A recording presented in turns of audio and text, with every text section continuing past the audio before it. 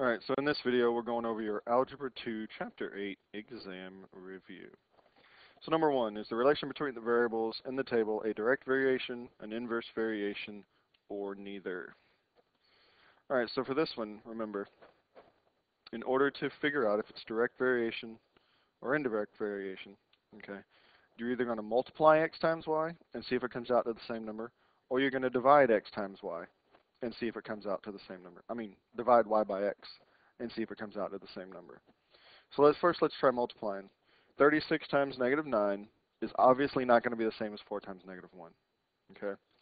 So we know it's not going to be inverse variation because with inverse variation you multiply x times y and if it gives you the same value then you know it's inverse variation. So now direct variation we're going to take y and divide it by x. So 36 divided by negative 9 is negative 4. 28 divided by negative 7 is also negative 4. 8 divided by negative 2 is negative 4. 4 divided by negative 1 is negative 4. So therefore it is direct variation. Our k value is negative 4. So our equation is y equals negative 4x. Alright, so number 1 is letter B. Number 1 is letter. All right, number two. Number two says, suppose that x and y vary inversely. All right, so that's y equals k over x because they vary inversely. When x is 10, y is 8. So 8 equals k over 10. Write a function that models the inverse variation. So what we need to do is we need to find out what k is. So to do that, we're just going to simply multiply both sides by 10. That cancels out that 10. So 10 times 8 is 80, so k equals 80. So now we can come up here and just replace, whoops, we can just replace the k with 80, and that will be our function. So number 2 is C, y equals 80 over x. Alright, y equals 80 over x. Alright, so there's number 1 and number 2. Let's go to number 3. Suppose that y varies directly with x. So y varies directly with x and inversely with z. And y is 28 when x is 32 and z is 8. So we're going to find y. So this is 28 equals 32k over 8. So now we're just going to do this division. Well, 32 divided by 8 is simply 4. So this is 28 equals 4k divide 4, divide 4. So k equals 7, because 28 divided by 4 is 7. So now we can come up here to k and do the same thing. We can erase k and put in 7. Okay? So now find y when x is 12 and z is 3. So y equals 7 times 12 divided by 3. Alright, so I can do this without a calculator. I'm going to reduce this. Well, you can pull a 3 out. That goes to 1. That goes to 4. So this is simply y equals 7 times 4, which is 28. So here we go, right here, 28. Alright, and our because our, our equation is y equals 7x over z, and y is 28 when x is 12 and Z is 3. So the correct answer is letter B. All right. Number four. Designer Dolls Inc. found that the number of dolls sold varies directly, so the number of dolls sold varies directly with their advertising budget A and inversely with the price of each doll. The company sold 5,200 dolls when $26,000 was spent on advertising and the price of the doll was $30. Alright, so what we can do is one of these zeros will cancel up here. So now we have 2600k over 3, multiply both sides by 3. So we get So we get 15,600 equals 2600k. Divide off the 2600. So these zeros will cancel, and those zeros will cancel. That was supposed to go with that one. So basically, this comes down to 156 divided by 26. which comes out to k equaling 6. So again, we can come up here, erase k, and put in 6. And now it wants to know, determine the number of dolls sold when the amount spent on advertising is increased to $5,200. So this equals 6 times 5,200 and I mean 52,000, I'm sorry, and the price of the doll is still $30. So we can pull a 6 out of here, so that'll go to 1, that'll go to a 5.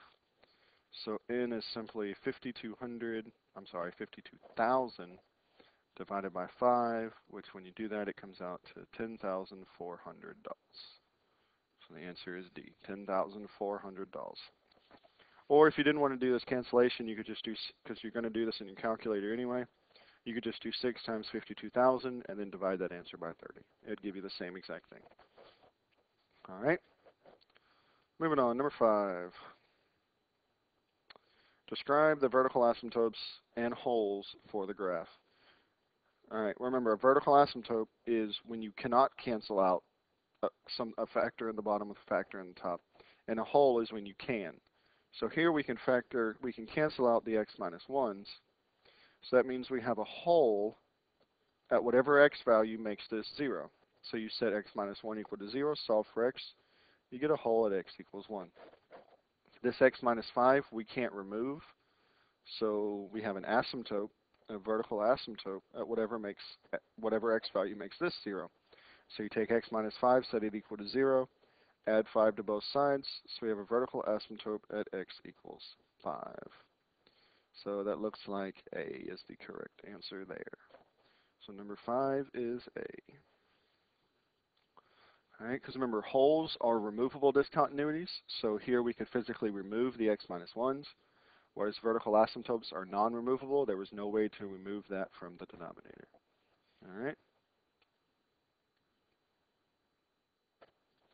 Alright. Alright, same thing here. Describe any vertical asymptotes and holes.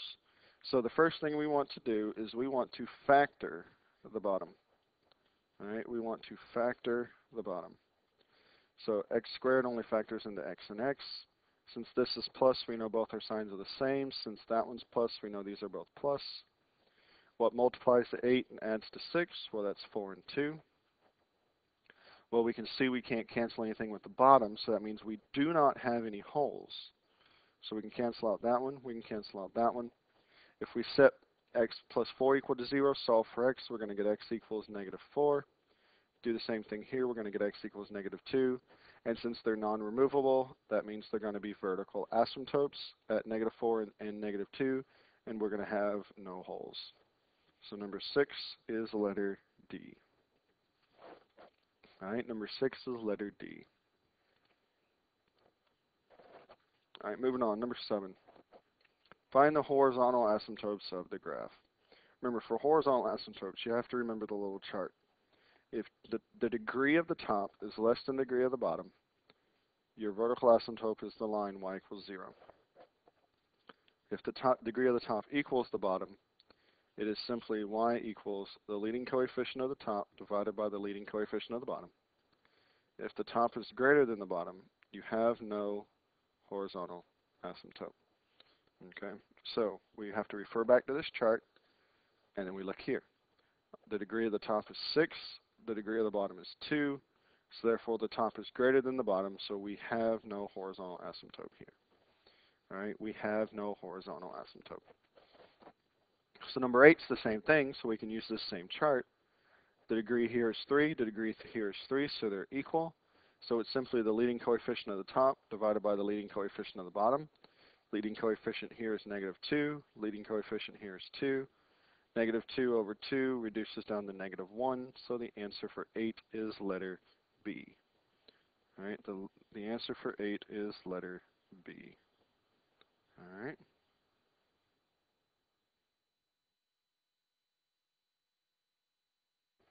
All right, number 9. What is the graph of the rational function? First thing we want to do here is we want to factor it. Okay, so what multiplies to 3 adds to negative 4? Well, that's simply negative 3 and negative 1. And x squared minus 9, this is the difference of this is the difference of squares. So this is simply x plus 3 times x minus 3. All right, the minus 3's cancel. So that means we have a hole at x equals 3. This will not cancel out, so that means we have a vertical asymptote at x equals negative 3. Because remember, it's the x value that makes this set of parentheses 0 for the vertical asymptote, and it's the x value that makes this set of parentheses 0 for the hole. Now if you look, all of these have a vertical asymptote at negative 3, and they all have a hole at x equals 3. So we're going to have to go back to our horizontal asymptotes and if you remember, and here our degrees are the same, so the top equals the bottom. And if you remember that chart, that means y equals the leading coefficient of the top over the leading coefficient of the bottom. Here both leading coefficients are 1, so 1 divided by 1 is 1. So our horizontal asymptote is at y equals 1. Letter C is the only graph that has the horizontal asymptote at y equals 1. All right? Moving on. Number 10, simplify the rational expression and state any restrictions. So the first thing you want to think when you see these is factor. So, well, x and x, k and k, same difference. So this factors to k and k. And then this is negative, so we know we have one of each. 2 only breaks down into 2 and 1, and the 2 has to be negative since this is negative. All right, now let's go to here. Again, k squared only goes to k and k. 5 only goes to 5 and 1. And the 5 has to be negative because the 4 is negative. So here the k plus 1s will cancel out, leaving you k minus 2 over k minus 5. And k cannot equal 5 or negative 1 because 5 makes this 0 and negative 1 makes this 0. Alright, so it looks like our answer is, looks like letter D. Alright, so now we have to multiply these together and state any restrictions. So the first one we can't do anything with, but we can factor this. This goes to y times y. And multiplies to 6, adds to 1. Well, that's going to be negative 3 and a positive 2. And on here you can factor out a y, which you factor a y from y squared, you get y. You factor a y from 1y, you're just left with the plus 1. Alright, well that's a y squared up there. Sorry about that. So that cancels with that. This y cancels with the squared, leaving you just y. Nothing else will cancel out. So you have y times y plus 2 over y plus 1. Alright, nothing else will cancel out there. As you can see, they didn't leave parentheses, so they distributed this through. So that's just y squared plus 2y over y plus 1. So that rules these two out because they don't have y squareds. Now we have to see what y cannot equal. Well, what, what y makes this 0? Well, that's positive 3. We canceled out this single y. What makes this 0? Well, that's just 0. And then we're still left with this guy. What y value makes this parenthesis 0? That's negative 1. Alright, so coming back over here, it looks like the answer is B. Okay, so for number 11, the answer is B. Okay? Alright, moving right along. We're almost done here. Number 12. what is the quotient in simplified form stating the restrictions? Again, we need to think about factoring. So we have a plus 2 over a minus 5. That won't factor. And then I'm going to go ahead and change this to times and flip this over. The a plus 1 won't factor, so we can leave it down there. But now what multiplies to 15 and adds to negative 8? So we know that's going to have to be a negative 3 and a negative 5 because it has to be a positive 15 and a negative 8. Alright, so those cancel out. And looks like nothing else cancels, so we're left with a plus 2 over a minus 3. I'm sorry, times a minus 3 over a plus 1. And now what can a not equal? Well, we canceled out the a minus 5. So what a value makes that 0? Well, that's positive 5. We're left with an a plus 1 here. So what makes that 0? Well, that's negative 1. Now, what we also have to look at here is this polynomial started out in the bottom. Okay, it started out in the bottom. So we also have to look at this a, a minus 3 right here. This can't equal 0 either, only because it started out in the bottom. If it hadn't started out in the bottom, it wouldn't have mattered. But since it did, what a value makes this 0? Well, that's 3. So a can't be 3 either because that makes our original denominator 0. Okay, we already took care of the 5 because it canceled with that, so we already took care of the 5, so we just have to keep in mind of that 3. So our final is a plus 2, a minus 3 over a plus 1, and you can't, mm, so it looks like a. All right, number 12 is a. All right, 13. What is the least common multiple of those two polynomials? Well, the first thing you want to do is factor those two polynomials. So this factors to x and x, plus and minus, means these are both negative. And it multiplies to 6, adds to 7, well that's 6 and 1. And then over here, we have x and x. This is negative, so we know we have one of each. And then multiplies to 4, adds to 3, well that's a positive 4 and a negative 1. So our common denominator, we have to have the x minus 1, that's in both. Now we have an x minus 6 here that we don't have over here. So that means we're going to have to multiply this by x minus 6. And then over here we have an x plus 4 that's not over here. So we're going to have to multiply this by x plus 4. So that right there is our common, our least common multiple, x plus 4, x minus 6, x minus 1. So the answer is A. All right, the answer is A. Okay? Remember, your least common multiple is the smallest number that they can all multiply into. Don't confuse it with least common factor. Okay, least common multiple is the smallest number they can all multiply into. And when you have, you know, factors like this in sets of parentheses, it's simply all the sets of parentheses. Okay, so here we had an x minus 6 and an x minus 1 that we started with. Over here we started with a plus 4 and a minus 1. So we have to have x minus 6, x minus 1, and x plus 4 because those are the three that are in both of them. Okay? So let's go to number 14 now. Simplify the sum. All right, so we have to factor. So this is going to be a and a. Both the signs are plus, so it's plus and plus. Multiplies to 10, adds to 7. Well, that's 5 and 2. Over. Uh, this is a and a. It's a negative 15, so we know this is plus and minus. Multiplies to 15, adds to 2.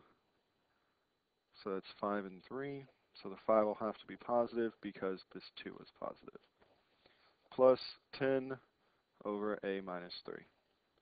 Well, are we missing anything over here that we have over here in the denominator? The answer is no, because we only have an a minus 3 here and we have an a minus 3 here. Are we missing anything over here that we have over here? Yes, we do not have an a plus 5 over here, so we have to multiply the top and bottom by a plus 5. Okay? So now we have a plus 5 times a plus 2 plus 10 times a plus 5 over a minus 3 times a plus 5. Now if you notice, we have an a plus 5 on both sides of the plus sign here. So what that means is we can factor that out. So we have an a plus 5 times a plus 2 plus 10. Right? Because we're left here with the a plus 2, and over here we're left with the plus 10 over the a minus 3 times the a plus 5. Well, now the a plus 5s will cancel out. This 2 and this 10 will go to a plus 12 Alright, so our final answer is a plus 12 over a minus 3. So for 14, the answer is a. Alright, so for 14, the answer is a. Alright, don't forget about that. after you simplify and you get your common denominators, look for stuff that can still cancel out with the bottom. Alright, look for stuff that can still cancel out with the bottom. Alright, number 15, we're almost done. First thing you want to do is factor. So what multiplies to 30 and we'll add to 1? Well, that's a plus 6 and a minus 5. And then what multiplies to 40 and adds to 3? That's a d. d. This is negative. And this is negative. So what multiplies to 40 and adds to 3? That's 8 times 5. Oops, nope, one of these is going to be positive. So that's 8 and 5. And then this is plus. Again, factor, factor, factor. We have d and d. And then it adds, it multiplies to 48 and adds to 14. Well, that's 6 and 8. And then down here as well, factor, we have d minus 8 and d plus 6. All right, so there we go. So we have so we have everything factored out now. Now we just have to combine our denominators. Okay, so we have to figure out our common denominator. Well, it looks like, wow, looks like we're going to have to multiply everything over here by everything over here and do the same thing for both sides. So we're going to have to multiply d minus 8 times d plus 6 and d minus 8 times d plus 6. And over here, we're going to have to multiply by d plus 8 and d minus 5. So d plus 8 and d minus 5. okay. So now let's see what we got. Well, we have d minus 8 over d plus 6 and then d plus 6 again, and then where did I get an a from? d minus 5 plus d plus 8, the d minus 5, the d plus 8, and d plus 6, all over. D minus 8 d plus 6, d plus 8, d minus 5. Alright, so if you look, we have a d minus 5 in both of these. We have a d minus 5 down here. So we can factor that out. For room's sake, I'm just going to kind of cancel like that. Now if you look, we have a d plus 6 here, and we have a d plus 6 here. We have a d plus 6 here. So the d plus 6s will also cancel out. So now that's going to make this problem a little more doable. Okay, so we have d minus 8 times d plus 6, and that's plus d plus 8 times another d plus 8, all over d minus 8 times d plus 8. Alright? So we can rule out a from the beginning because we don't have the correct denominator. Okay? So I'm going to erase some of this. If you still need it, all you have to do is rewind, the video and you'll be able to get it. Okay. But I need the space, so I'm going to have to erase it. So now we just multiply this together here. Well, that gives us d squared. And then that gives us, that's a plus 6 and a minus 2, so that's minus 2d. I'm sorry, minus 8, so that's minus 2. And then this will be negative 48 plus and this is going to be d squared plus, that'll be 8d and 8d, so that's 8 and 8 is 16d plus, and then 8 squared is 64. Alright, so let's combine these. We have 2d squared, because we already know what the denominator is, so I'm just concentrating on the numerator. 2d squared, that's going to be plus 14d plus 64 minus 48 is 16. So it looks like the answer is going to be letter C. Alright, so that starts out looking like a very, very complicated problem. You have a lot of factors in both the numerator and the denominator. But once you have them all written out, you can see that you can cancel out um, two sets. You can cancel out, well, I forget what they were, the d minus 5 and maybe a D minus 6, I forget. But, but you can see that we were able to cancel some of them out, and then it made it fairly simple. Alright, all we had to do was multiply this back together and get d squared minus 2d minus 48. And that's plus, after you multiply this back together, you get d squared plus 16d plus 64. Simply simplify that down uh, by combining like terms, so you get 2d squared plus 14d plus 16. And of course, that's over the d minus 8 times d plus 8. The reason I knew this was ruled out from the beginning is because for two reasons. One, this would only give you a d squared, and we have a 2d squared right there. And 8 times 8 is 64, not 88. So that's how I knew that a was a was wrong to begin with. All right. All right, moving on. Number 16. Simplify the complex fraction. So the first thing you want to do is ignore the bottom and simplify the top. So we have 3 over 3b minus 1 over 2b. All right, so common denominator here, we could do 6. So multiply the top and bottom here by 2, multiply the top and bottom here by 3. That's the multiplication, not subtraction. So this gives us 6 over 6b minus 3 over 6b, which is simply 3 over 6b, which is 1 over 2b. Now, do the bottom the same way. We have 2 over 3b plus 4 over 4b. Well, if you notice, I didn't do it here, but I will, I will show you here.